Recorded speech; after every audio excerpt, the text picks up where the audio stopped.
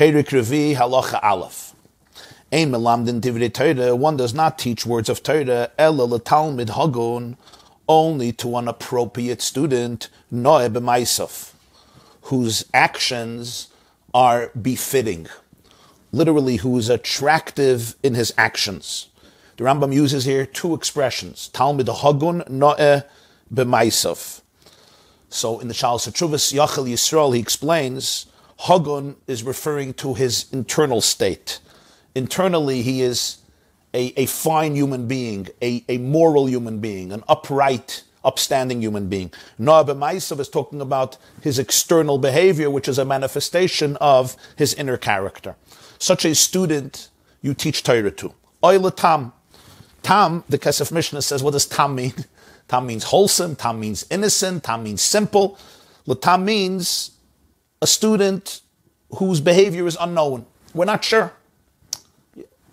They translated here in English a person whose behavior is unknown. He's a Tam. But if the teacher knew that the student is following an inappropriate path, he's going in the wrong direction. So then, what do you do? What do you do? So the Rambam says, this is what you do. These words are very powerful. The first thing you have to do is help this child, help this student, bring him back to the path of goodness. And help him start living according to a righteous, a good, a correct path. And then you examine him, you scrutinize what's going on, you scrutinize him, and then, then you bring him into the base medrash and you teach him Torah. Amru Chachamim, our sages said, the Gemara in Chulin Kuf Lamed Gimel, Kol Hashoyne L'Talmud Sheinu Hagun, Kilu Zorak Even Lemarkulis. Somebody who teaches a Talmud, a student, who is living an inappropriate lifestyle, it's like casting a stone to Markulis. This teacher is considered as though he throws a stone to Markulis. Markulis is Mercury. Mercury was a Roman god. It was the Roman god of wayfarers, and the symbol of this Roman deity was three stones positioned in the form of a triangle. And how did you worship the Markulis? How did you worship Mercury? You worshipped it by throwing stones at that symbol. So the Chachamim are saying that somebody who teaches Torah to a student who is morally impoverished, and lives in an inappropriate, immoral fashion, it's like this teacher is throwing, casting a stone to Mercury, which is the way of worshiping it. And this metaphor is very precise. This is explained by the Prisha in Yeridea Simon Mavav and the Lavush, and they explain, I may be throwing a stone to the Markulis, to the Mercury, because I'm trying to embarrass it. I'm trying to denigrate it. I'm like throwing rocks at it. You know, when you throw rocks at somebody because you're trying to put him down. But essentially, unintentionally, I'm actually building up Mercury. I am worshiping it, even though that's not my intention. The teacher may have very good intentions, but if the student, unfortunately, is rotten, so the very Torah that you're teaching him may be used by him in a manipulative fashion and may actually cause him to become much worse and to be able to influence other people badly. So I may have very good intentions because I'm trying to teach a student Torah, but if this student is really uh, inappropriate, he shouldn't be in the base medrash, and therefore it's like throwing a stone at Lamar Kulis. Shenemar, we have a pasuk for this in Mishlei Chavav. Kitzroid Evan b'margei makein noisin liksil kaved.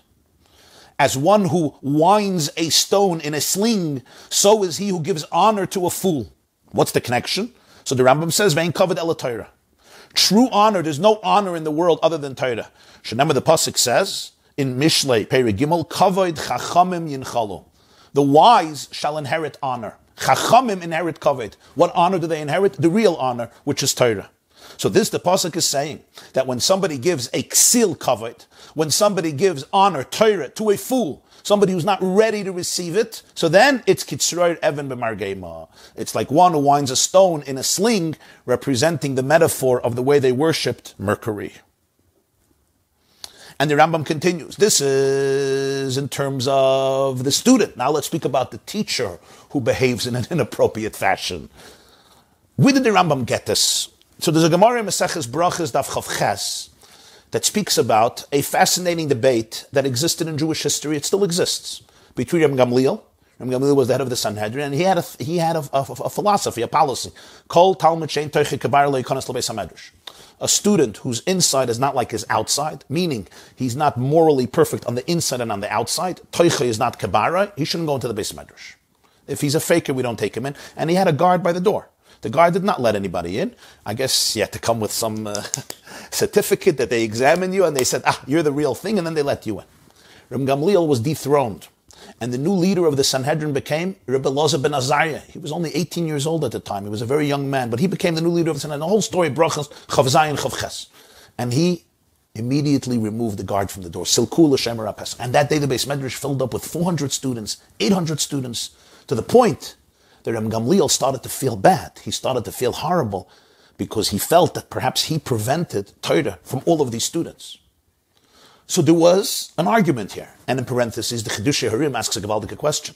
Why was Ram Gamliel upset? Didn't he know that if he removes the guard, there'll be another few hundred people? Like, what shocked him? I mean, this was your policy all your years. You really thought that the guard is just there in vain. The guard is there and nobody's coming in, besides those who got a special permission to get in. So now Rabbi Elazar Azariah removed the guard. Of course the place is packed. Like, Rabbi Gamliel, what happened? The Chiddushei HaRim says, he says something very interesting. He says Rabbi Gamliel realized that all those students who were sitting on the fence, all those students who never got permission to get in, he saw what the environment did for them. He saw that by allowing them into the Beis Medrash, they became transformed. And this is what perturbed him so much that perhaps he made an error. Who is the Rambam paskening here? Like Rabbi ben Azariah. Because the Rambam says, Talmud Hagun Noah b'maisav, and you can hear in his words, Toichai Baroi, Hagun is Toichai Noah b'maisav is Baroi, the instant answer, Oila Tam. What's Tam? Tam is somebody you don't know. You don't know. You don't need a guard by the door and say, where, where, where, we have to first examine you and scrutinize you and put you through the crucible and the test, and then maybe we'll let you in. No, no. If you don't know, you let him in. If you know for sure that this is a student who unfortunately is going to use the Torah in a wrong way, then you are not allowed to teach him until First thing is you have to try and help him do tshuva and bring him to the right path. And then, if he's appropriate, bring him into the Beis Medrash. And if not, the Rambam says you should not teach him. I should add that uh, I mentioned in yesterday's shiur, one of the extraordinary commentators on Rambam Hilchas Talmud Torah is Shulchan Aruch Harav Hilchas Talmud Torah. And over there he discusses this Rambam, and he says, this is a halach about the teacher, but the student should try to push himself in. Even if a student knows that he's not ready to change, but he wants to learn, go, go push yourself in. He says, this is a halacha for the teacher, but the student should try to push himself in. And then the Shulchan Aruch Harav says, and maybe even the teacher should take him. Why? Because even though the Rambam says first, you have to make sure that he does tshuva, he says that's what you try. You try to do that. And what if it doesn't work? What if it completely doesn't work? So he says it's possible that even the teacher, there's a svara, he says it's possible. Shulchan Harav, Talmud Torah, Dalad. He says, even if the teacher, even if the teacher should not put himself into a doubt, because he may not do tshuva. And if he doesn't do tshuva, so he's Zorik Evel Markulis. So it's like you're throwing stones to Mercury. So he says that's true, but the student should push himself in my So what is he going to lose? And if he's Zoich, he'll do tshuva. And then the Bashulchan Aruch Harav, this is Kuntris Acher and Hilchas Talmud Torah Pedig Dalet. Gama Harav Yesh Loim the Torah Lachas Satzmel Beis Shabinyan Acher. Maybe it's possible that halachically, even the Rav has to put himself in doubt. What's the doubt? The doubt is if he does tshuva gevaldik, awesome. It's not Zerek Heaven Markulis. It's helping a, a, Jewish kid. But the suffix is he may not do tshuva. You're taking in a rotten potato who remains rotten. He says, if there's no other possibility, maybe halachically you have to. Elim, So then why does the Rambam say put him through this examination? So the Shulchan Aruch says, if you know that you could bring him back to goodness by first not letting him into the Beis Medrash. And that pushing him away, that rejection, is going to trigger within him a yearning, a thirst, and an eagerness to transform himself. Then Then indeed, you have to say you have to stay out. Until you do tshuva, then we take you in. But what if you know that rejection just keeps him out of the Beis Medrash forever? So the Shulchan Aruch says maybe the halacha would be that then, if there's no other choice, even the Rav has to take him in. Allah Sufik! Maybe you're going to be throwing an Evan to Markulis. If he doesn't do tshuva, he'll just use the Torah in a toxic way. Like the Gemara says in Yuma, Ayin Beis and Tainas Dav Zayin, that Torah can become Samamovis. It can be used in a poisonous way. But maybe the Torah will transform him. The Torah will, will, will learning and being in this environment will completely transform him. What's his proof? He says it's a Beferish Gemara. Teda, Beferish Shechnar Charav. Which Gemara? Saita. Saita Daf Mem Zayin Amid Aleph. Many of the prints have deleted some of the lines over there. Yeshua ben Prachia had a student. His name was Yeshu. Yeshu once spoke about women. Yeshua ben Prachia threw him out of the Beis Medrash. He came back a few times. Yeshua ben Prachia felt he's insincere. And he kept on pushing him away, pushing him away, pushing him away. One day he came during Krishma. Yeshua ben Prachia wanted he should come back. He understood it as ultimate rejection. And he went and he worshipped idolatry. Yeshu. Saita Daf Mem What does the Gemara learn from there? La'olam tehei smoiloi shaladam doicha v'yamin mekareves v'loi ki Yeshua ben Prachia. The Gemara says, don't do like Rav Shimon says. What did Shimon Prachia do wrong? He did the right thing. Here's a Talmud. Unless you are absolutely certain that he did tshuva, don't let him into the Beis Medrash. Throw him out. The Gemara says there was something wrong. Why? Because if you're not sure that the rejection is going to bring him back, is going to help him do tshuva, then bring him in. Allah Suffolk, that you'll help him do tshuva. And that's what he paskins la halacha and Hilchas Talmud Torah Pedek Halacha Yizayin. He says, don't teach Torah to a Talmud who lives inappropriately. First bring him to do tshuva and then bring him into the Beis Medrash. That's the Rambam. And then he says, but if you can't, and he wants to come learn, he wants to come learn, even though he didn't do tshuva, he just wants to come learn. So you should say, nah, this is evil, this is horrible. So the Balatanya Paskins, Tehei small doicha, v'yamin mekarevis, not like Yeshua ben Prachia, shedocha leploini bish, shtei ya dayim. Wow. I should just say, there's a Rambam and Hilchas Ritzeyach in the beginning of Perik Zion, that from the Rambam also, there's the Mashmos, this this this. So you could see it. This is also Shittas Harambam. We speaks about Talmud Shagola Maglin Rabbi Imai, a Talmud who killed somebody by mistake and he goes into exile. You bring the Rebbe into him from that Rambam. It's not for now. We're going to get there, Mitzvah I'll say it then. But from there you can prove from the Rambam like this Taich in Shulchan Aruch Harav Hilchas Talmud Torah. Of course. I'm elaborating on this because everybody understands the powerful ramifications of this qualification in our own times. Let's go to the next piece. What about a teacher? He does not follow the right path. He's a good teacher, maybe brilliant, maybe a great communicator, but he doesn't live what he preaches. Even he's a great sage, and the whole nation needs him. There's no teacher like him. You do not learn from him until he does not revert his ways and come back to goodness. Shenemar, the Pasuk says, Mal'achi Perik Beis, the last prophet. Ki sifsei chayin yishmiru daz v'toyri yavakshu mipiyu ki Hashem. The lips of the Kayin preserve knowledge. Torah you shall seek from his mouth because he is a malach, an angel or a messenger of Hashem. Amru chachamim, on this the sages said, Ma'it katin yudzayin, im doim arav, lamalach Hashem tzvois Torah yivakshum mipiyu, vim laval yivakshum Torah mipiyu. If the Rav is comparable to a malach Hashem tzvois, to an angel, a messenger of Hashem, then seek to learn Torah from his mouth. But if not, do not seek to learn Torah from his mouth. This is the source the Rambam says, if a Rav is not a Malach Hashem Tzvois, even though he may have a lot of wisdom, do not be mevakish Torah. Now, what does this mean? A Rav is a Malach Hashem Tzvois. Where are you going to find, maybe once in a while, but where are you going to find a teacher who's a Malach Hashem Tzvois, an angel? So a lot has been written on this, but I'll tell you two fascinating interpretations. One comes from the Ponim Yafis, the Baal Haflor, Pinchas Levi Ish Horowitz, Harav Pinchas Levi Ish Horowitz, the author of Sefer HaMakna, student of the Maggid of Mezrich. The Rav of Frankfurt in Germany, the author of Makna, the uh, Makna, the author of Aflong Suvis, Makna and Kedushin, the author of Panam Yafis on, on Chumash, one of the Ga'ine Hadar. And he says that a Malach is called in Tanakh Oimed. He stands in one place and a Shama moves. This world, you can transform yourself. A Malach, the orbit, the spiritual orbit is more or less consistent and permanent and fixed. So he says, If the Rav is like a Malach in the sense that he's not teaching in order to enhance his own knowledge and express himself. He's happy to be an oimid. Very often, a teacher needs to teach new material, innovative material, because he's bored of the material and he wants to express himself, but it's not what the student needs to hear. The student needs to hear the material that works for the student. If you're ready to be a malach, you're ready to stay in one place, even though it's not about your growth. But that's what the student needs. That's the teacher you're going to receive from. The Baal Shem Tov says, this is quoted in Degel Machane Ephraim Parshas Yisroi.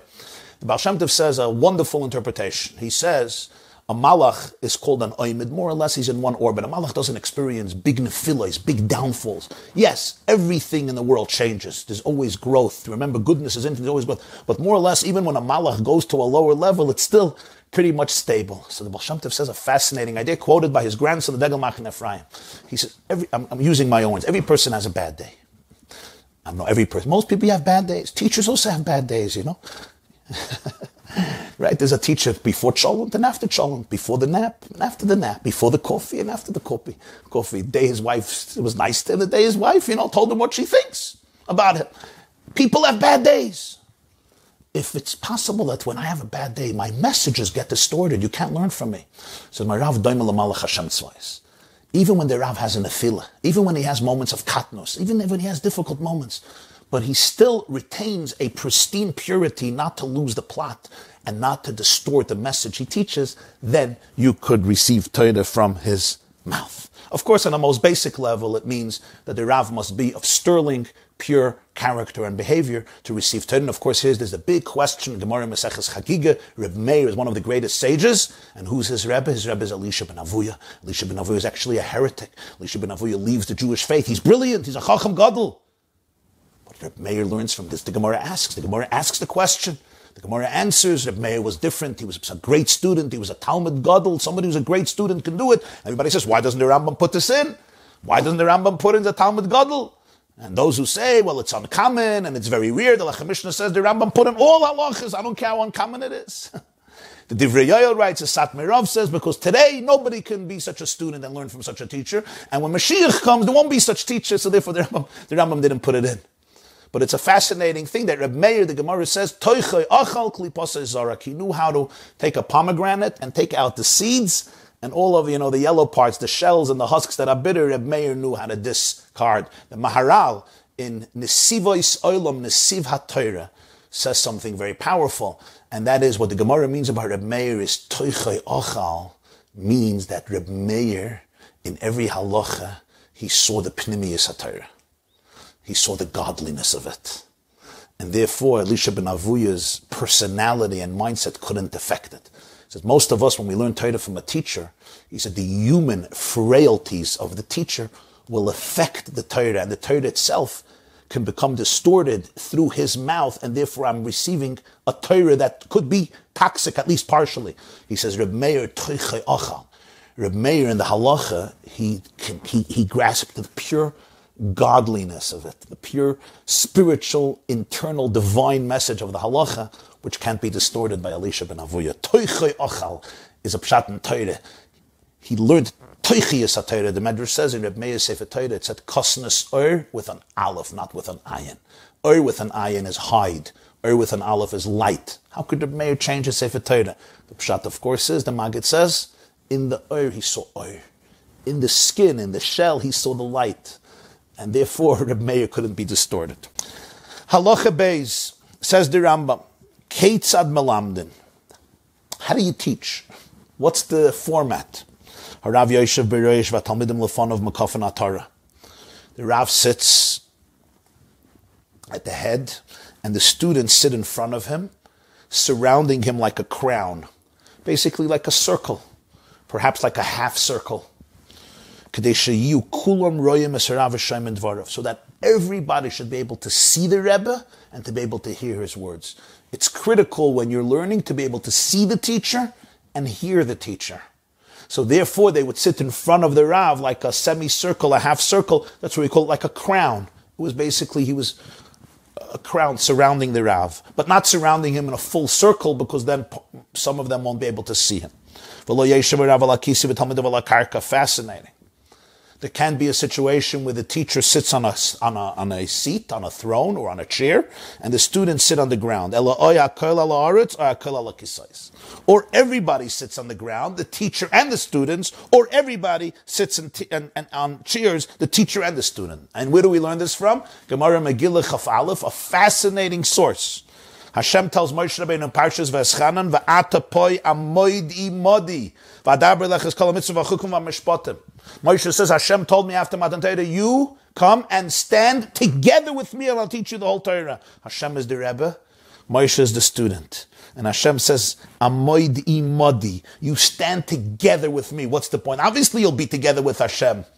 He says, Come to me, stand with me. From here, we learn that a Rebbe and a student have to be on the same level. Either they're all on the ground or they're all sitting on chairs. So if he's sitting on the chair, they should also be sitting on the chair. If he's sitting on the ground, then they can also sit on the ground. And the Rambam says a fascinating piece of Jewish history, which is, I guess, part of halacha. In the earlier parts of Jewish history, the system was that the Rebbe would sit and the students would stand. Now, parentheses, I we just said that it's disrespectful. So the Lechem Mishnah explains, no. It's disrespectful if he's sitting on a chair and they're sitting on the ground. Either they're all on the ground or all on the chair. But the fact that they're standing when they're learning is not disrespectful. And the fact that he's sitting is because he's teaching. He needs to concentrate. He needs to be relaxed. He needs to be serene. It's much easier for the Rebbe to sit and they're standing. That's not a problem. That would be a normal fashion. If they're both sitting and they're on the ground and he's on the chair, that would be inappropriate. This is Lechem Mishnah says. So in the beginning, they would all stand while he would sit.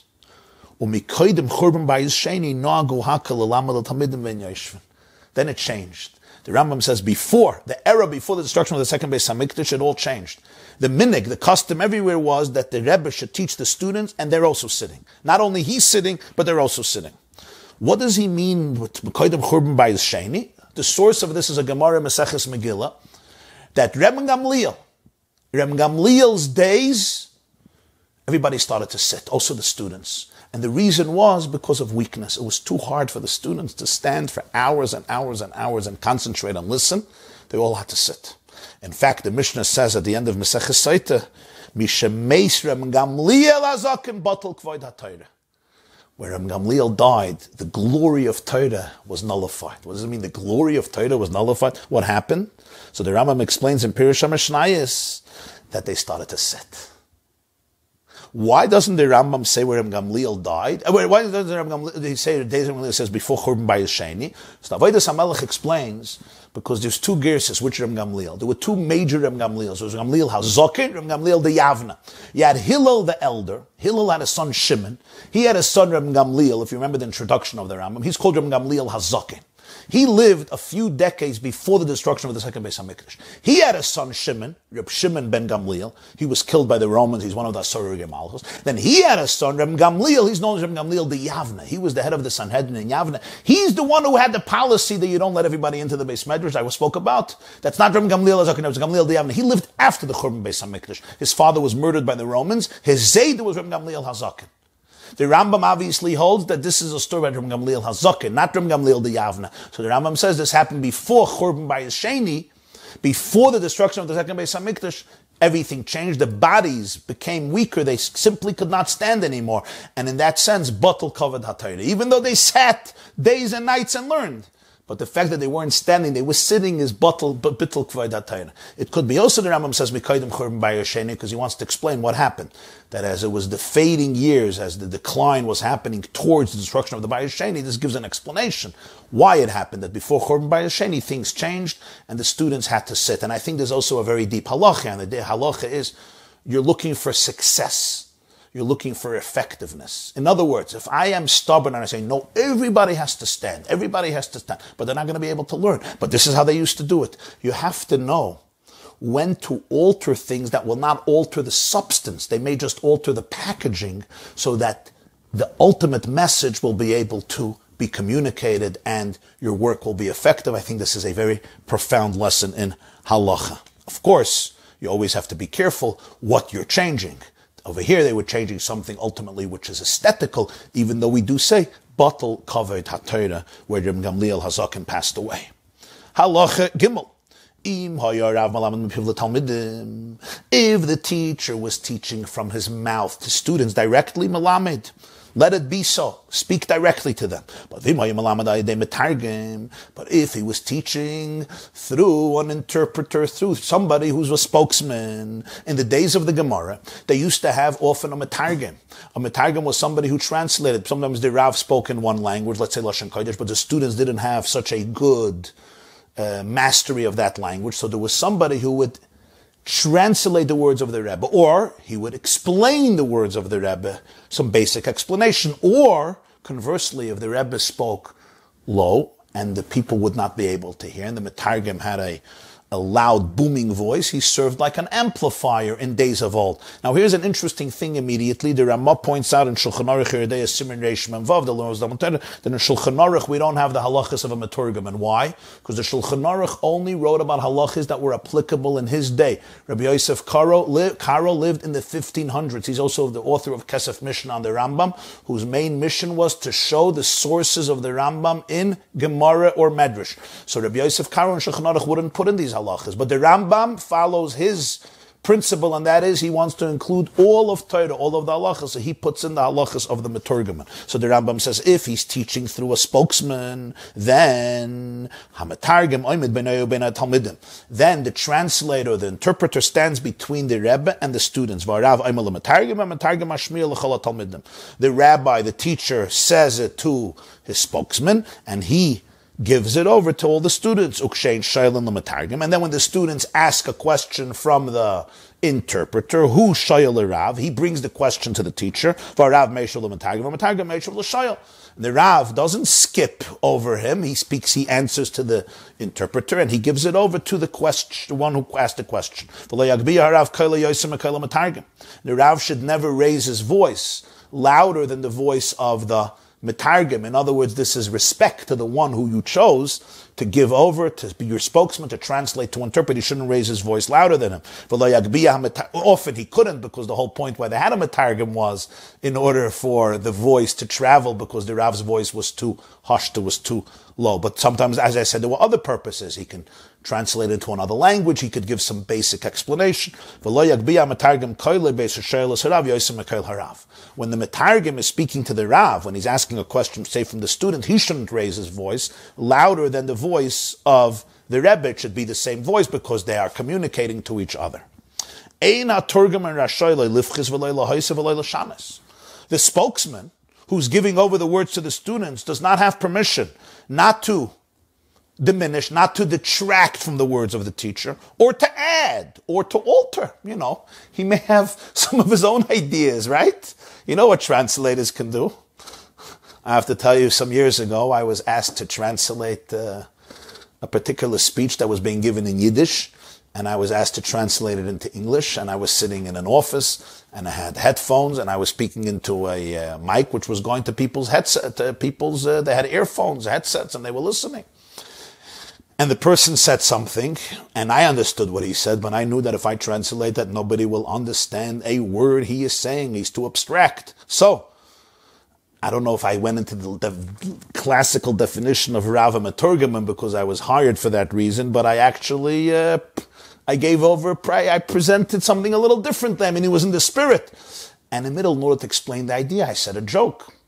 So suddenly, everybody who was listening to the English translation burst out laughing, and everybody else in the audience who was listening to the original didn't know why they did not get the joke.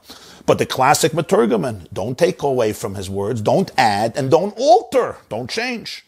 Elim ken hoya turgaman aviv shel There's one exception. If the translator, the interpreter, is the father of the sage or the rebbe of the sage, then he can add, he can detract, he can alter. What if the teacher tells the interpreter, so my teacher told me, or so my father, my master told me, but he didn't mention the name. He said, my father, my teacher. Now, if the interpreter says over, so my father said, it's going to create confusion. When the translator says over the words to the people, He says it in the name of the sage. If the Rebbe said, my father said, or my Rebbe said, let him say the name of the father of the Rebbe.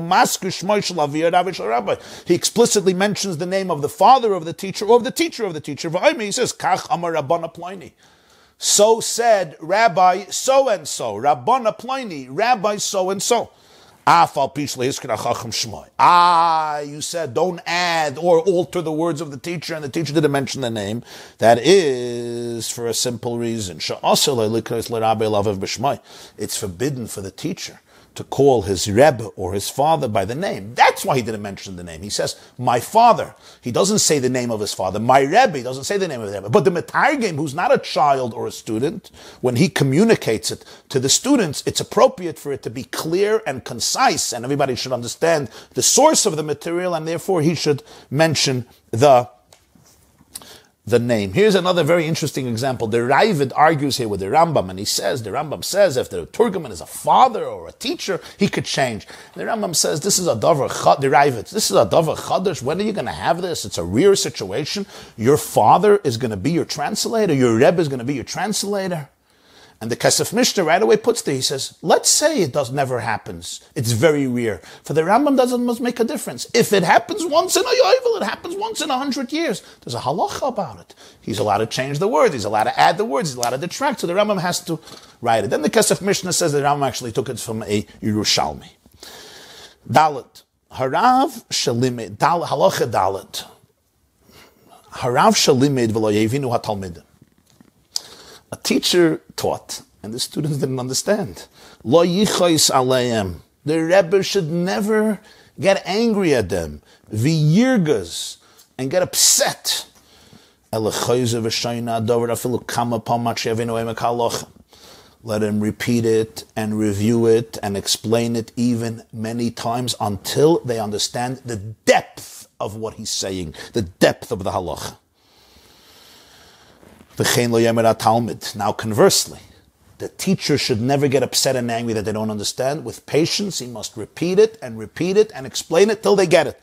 But conversely, a student should never say, Hevanti, I got it, I understood. He did not understand the material.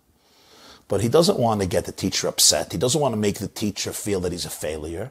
He doesn't want to embarrass himself that he's incompetent. Do not do that.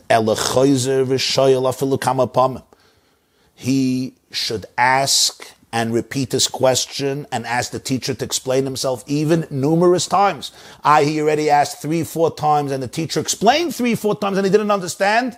Ask again. Vim of Rabbi Viragas.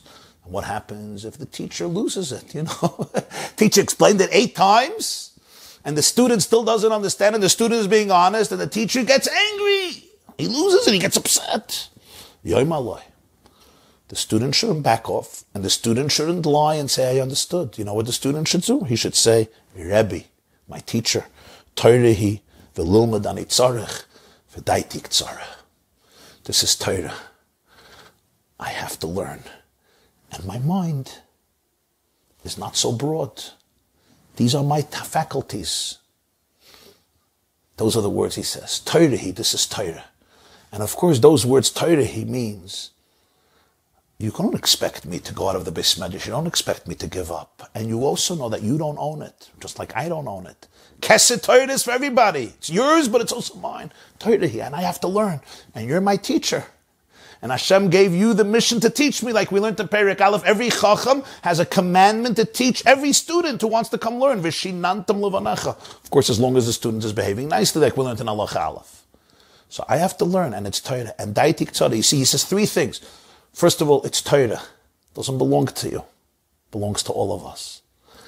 I have to learn. And Daitik Tzara, and it's hard for me to learn, so I need you to explain it. It's a beautiful story in Gemara Masechta Eruvin, Dafnon Dalit. There was a teacher named Rav Preda. He had a student, and the student would not understand the material if the teacher did not explain it 400 times. And this is what Rav Preda would do. And the Gemara says that once he was in the middle of teaching the student, and a delegation came into him, and they needed his help for a mitzvah, and Rav said, that he's soon going to finish and then he's going to go and help them. He was planning on finishing the 400 times, and the student will understand, and then he'll go.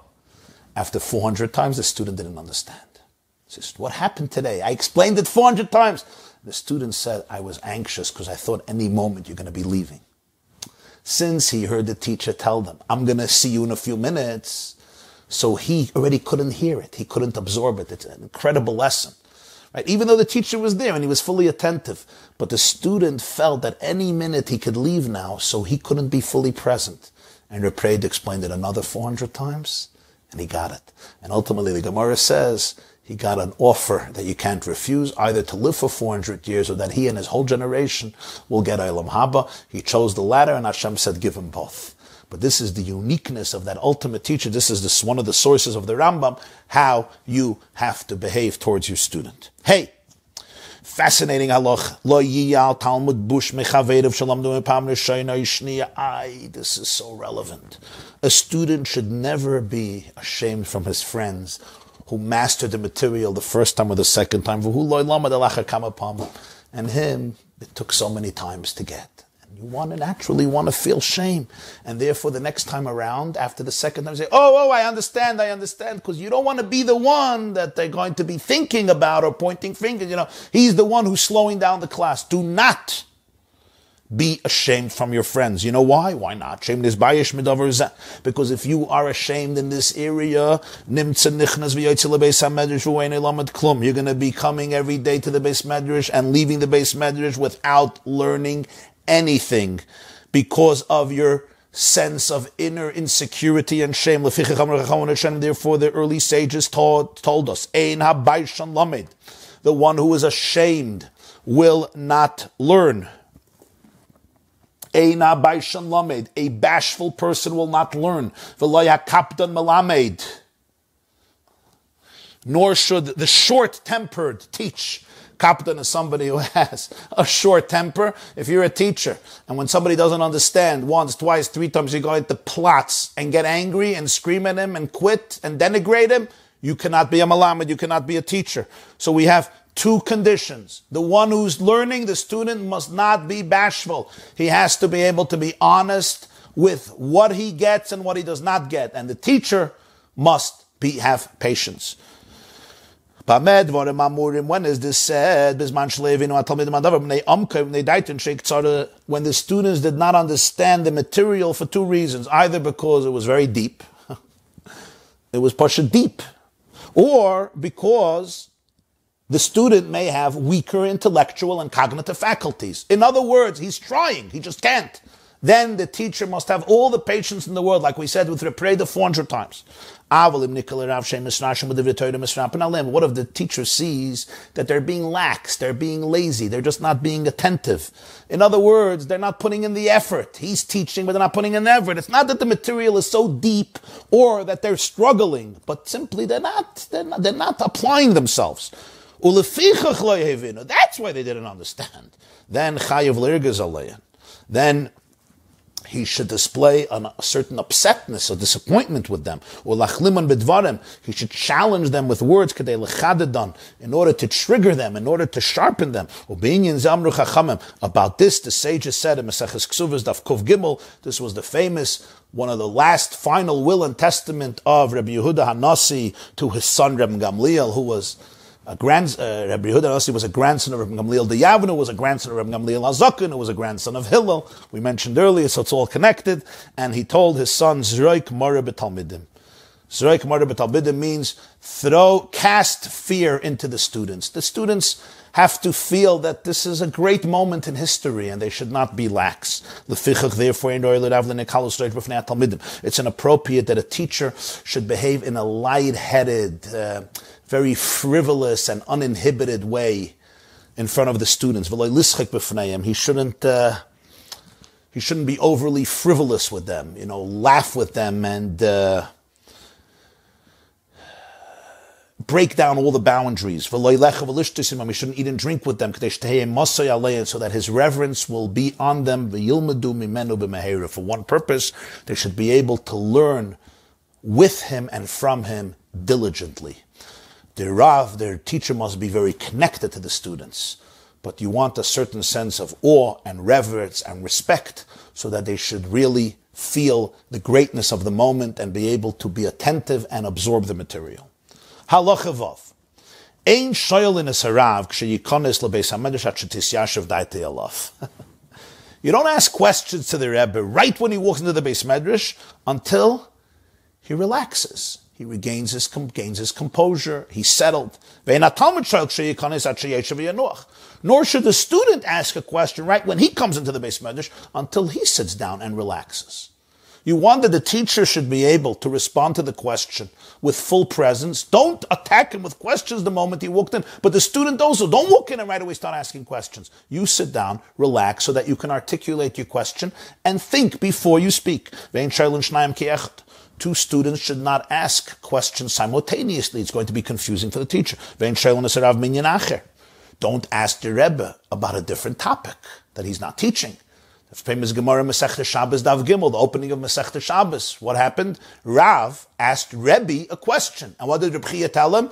Kad koi Rebbe b'hai Masechta loisa. When Rebbe is teaching this Masechta, don't ask him in another Masechta. Ela me oisya inyan shein oiskim Ask about the topic that they're dealing with. Don't start asking questions off topic. Some people have this innate tendency. They have to ask questions off topic. It's almost like, I don't know if it's part of the DNA, but they have to go off topic. Don't do that. So that the teacher shouldn't be ashamed. He has not prepared that material.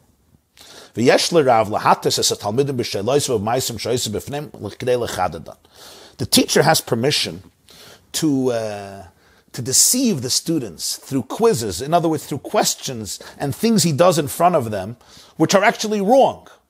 These are, you know, catchy questions because he wants to sharpen their mind. And also to test their memory if they remember what he taught them or not. And certainly he has permission to ask them about a different topic than the one they're dealing with in order to inspire them and arouse within them the willingness to review and remember and master the material. Halacha Zayin, Ein Shoyal in Mu'umad. You do not ask questions from the teacher when you're standing. He probably means, many Mefarsh he means both. In other words, the teacher shouldn't be standing, and some say even the student shouldn't be standing. There's an argument in Mefarshim what does the, the Rambam mean? Does the Rambam mean that the student shouldn't be standing and the teacher shouldn't be standing, or it means that the teacher shouldn't be standing? And you don't answer standing because the teacher, when he answers, should be sitting because the answer will come out in a more relaxed fashion. It's easier to communicate when you're sitting in a calm way. You don't ask a question from a high elevated high place, meaning the teacher is in a low place and the student is in an elevated place, or conversely, and not from a far distance. You know, you scream out your question. That's not how you do it. And don't ask a question from behind the teachers, from behind the elders. You, you face him. You don't need him to turn around, which is disrespectful. And you only ask him a question in the topic that we're dealing with. The Kesef Mishnah says he said that in Allah Chavav, you should only ask about the topic. So the Kesef Mishnah explains that earlier he was talking about, he's learning Hilchah Shabbos, and you start asking him a question in Tumah, or Tara, or Ribis, or Kachim, a completely different, different Masechta, different Inyan. Here he's saying something else, and that is, Ancient of Ella even, even in the topic that you're learning, ask about what he's talking about, not about another thing that is connected to the topic, but it's not part of the not part of the discussion. This is how the Kesef Mishnah explains it. You ask with awe, with respect. Don't throw out more than three questions. It's too difficult. You ask one, two, three. Don't ask, you know, eight questions. You can ask later. In one topic, you throw out three questions simultaneously is enough. Ches, Shnayim Sheshalu. Two people asked the Rebbe a question, even if not simultaneously, but one after the other. He can't right now answer every question. He can answer one. Or he can answer both. But the question is, what gets, which one does he give uh, preference to? So the Rambam says this: If one asked on topic and one asked off topic, so he answers first the one on topic. If one asked a question that's practical, and one asked a question which is abstract, you first address the practical question. Halacha medrash. One asked a question about a halacha, a verdict in halacha, and one asked a question about a medrash. Medrash means the svarim that explain the psukim of Torah. And there could be halachas from that. But it's not a clear halach, it's more an explanation of the psukim like the svarim sifra, sifri, niskakan halacha. You first address the one who asked about a clear, concise, established halacha. Medrash v'Haggadah. One asked Medrash, one asked Haggadah. Medrash would be the Medrashim that explain the Psukim. Haggadah are homiletical ideas different teachings of the sages, different stories, different narratives, which are part of Torah, like Medrash Rabbah, Tanchuma, Niskakal Medrash. You first address the Medrash question. Haggadah v'Kal One asked, a question in Agada. Again, these are the homiletic parts of Torah. And one asked a question of Kal V'chaimer. Kal V'chaimer is the first of the 13 methods that Moshe Rabbeinu gave the Jewish people of how to interpret the text of Torah known as Kal V'chaimer. Niskakin Kal V'chaimer. You first address the one who asked about a Kal V'chaimer. He wants to understand the Kal V'chaimer. Kal means light. Chaimer means heavy. And it's basically the logic. If I tell you that somebody can pick up uh, weights of 200 pounds, certainly he could pick up 50 pounds, right? Lahavdil, that's the logic of Kal v'chaymer. If he could pick up something heavy, if he's a heavyweight, certainly he could pick up something light, Kal.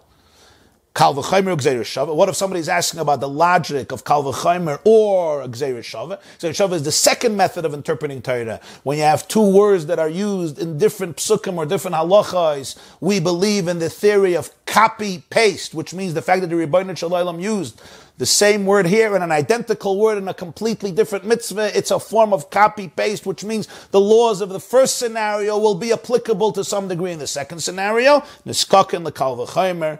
You first address the question about Al Kalvachaimer, not Exeir The Pri Chadr says, because Kalvachaimer is pure logic.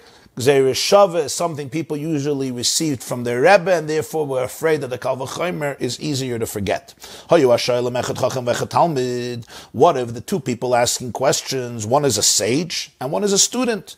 One is a sage who already was ordained, and one is a student who's learning. Niskakan lechachim, you first address the sage out of respect. Talmud v'amaris, niskakan letalmud. One is a student, and one is an amaritz. Amaritz is somebody who doesn't really learn. He's not very knowledgeable. He's very ignorant, but he came to ask a question. First, you address the student. Shneim chacham, shneim talmidim, shneim amayaretz. What if both are sages, or both are students, or both are ignorant? They're not involved in learning. Or so he says. What happens? So he says like this. So if both people who are more or less equal in status asked about two halachas, or they asked two questions on the words of the Rebbe, or they're giving two, two different alternative answers to explain the Rebbe's words or answer his question, or or they both asked about practical things. In other words, if one asked about a practical thing or an abstract thing, so we already know which one gets preference.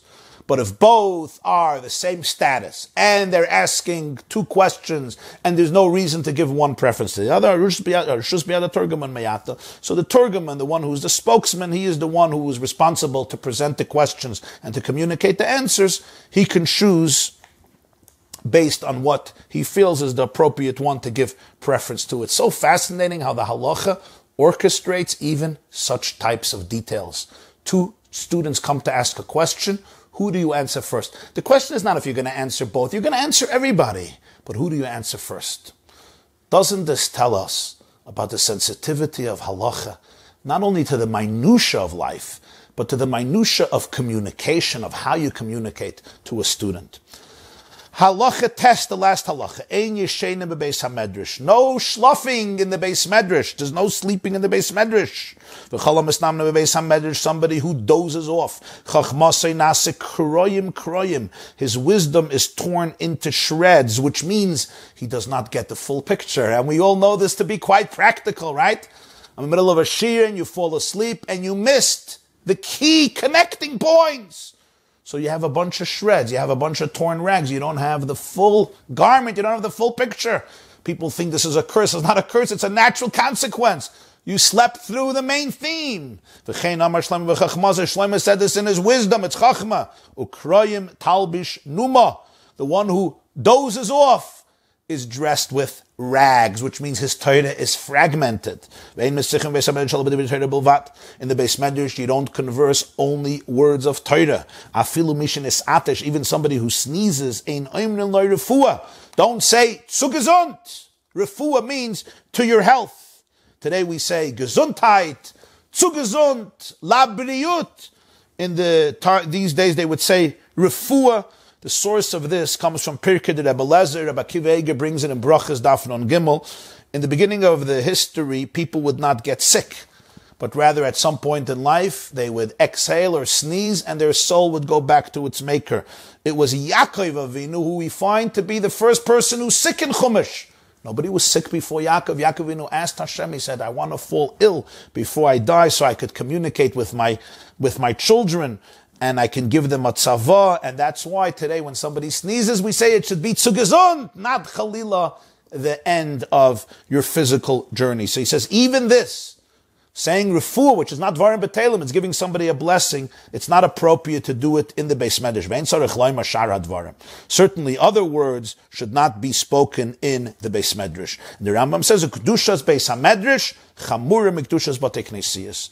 And the holiness of the base medrash is even greater than the holiness of bateknesias. Base medrash was places where they, that were dedicated to learning, bateknesias were places dedicated to davening. He says the kedusha of the base medrash is greater than the kedusha of a base Beis HaKnesses. So the Rambam tells us here there's no sleeping in the Beis Medrash, and the results of it are negative. I should just say that in Shulchan Aruch Orach Chayim Kufnon Aleph, he does say that you're allowed to shinas arai, which means a little temporary nap.